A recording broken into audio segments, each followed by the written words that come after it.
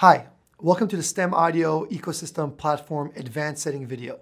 So in a previous video, we kind of walked through the platform itself and we talked about all the different features. However, we skipped the advanced setting part of it, which is covered in the general organization as well as inside the rooms and the devices. That's what we're gonna go over in this video. So without further ado, let's jump right into it. We find ourselves back to the homepage of the STEM Audio Ecosystem Platform. Now, in the previous video, we already covered all of the other buttons here. The only thing we didn't cover is the settings button, which we like to call the advanced settings.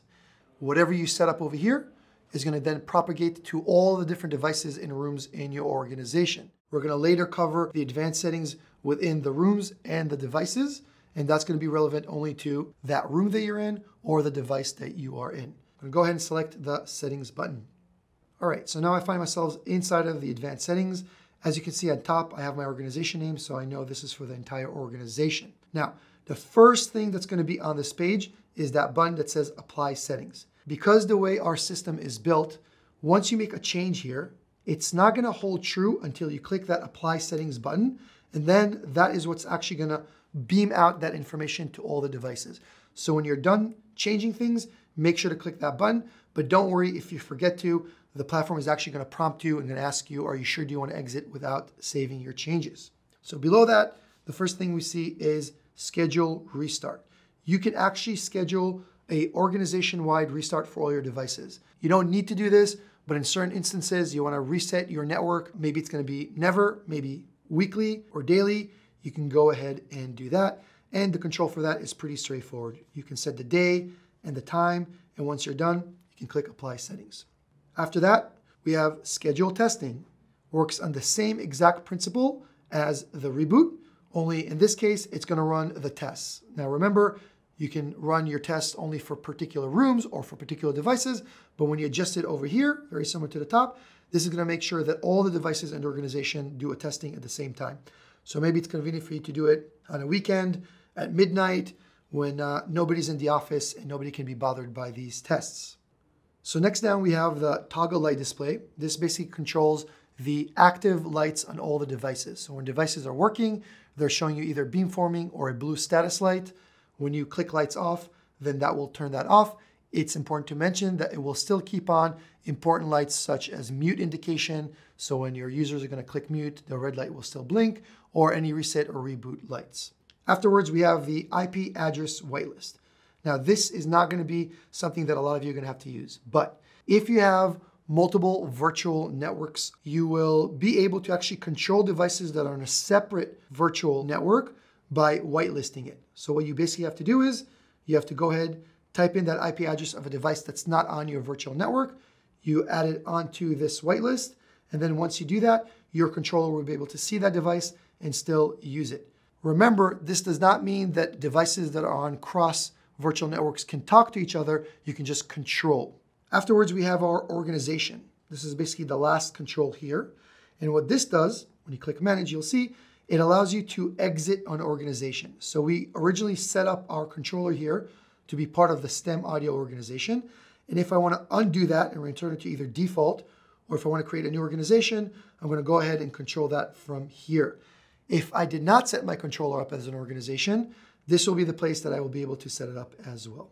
And that basically concludes everything that we need to know about the advanced settings. So let's go ahead and exit and see what this looks like inside the room itself. I'm gonna go ahead and jump into a room. And we see that the settings are very similar to what I showed you before on the global. We have that apply settings button at the top.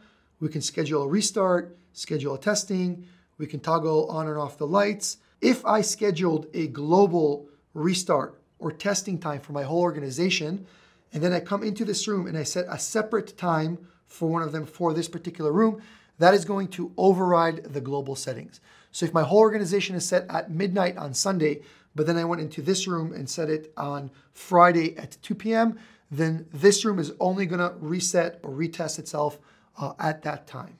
The other thing that we have here that we didn't show before is the SIP configuration. Now remember, you can actually set your room to have a SIP phone.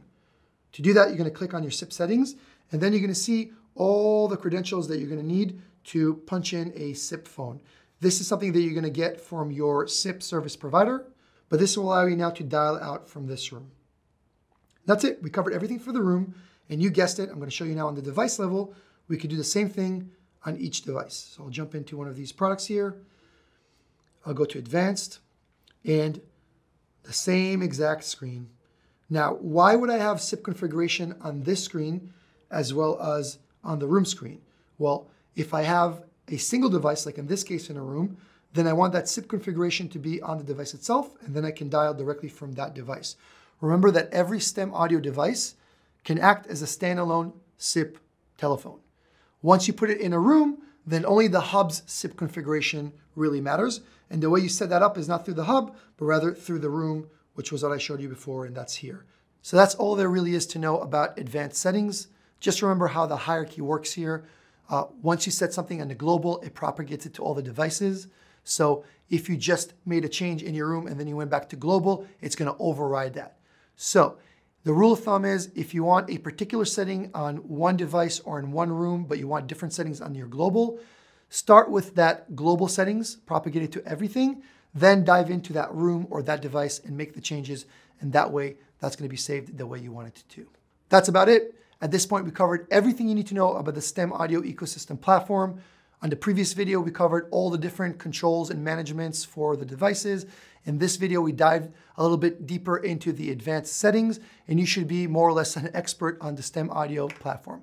If you have any other questions, remember we're still always here for you. So feel free to contact us. You can reach us by either phone, email, or chat. We're always happy to talk.